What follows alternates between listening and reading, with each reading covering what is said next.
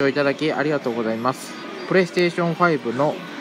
2022年5月のゴールデンウィーク現在の販売状況をご紹介したいと思います。えこちらのお店ではえ抽選販売となっていてなかなかどこのお店も先着販売順にならないのが今の現状となっております。スイッチであればえお一人様1台限りとなっていてえ抽選販売ではなく先着販優先順に販売してるんですけどもえプレイステーション5の方は未だにえこちら品切れ中となっている通りえ抽選販売がえ続いているえ状態となっております。でプレイステーション5になるんですけども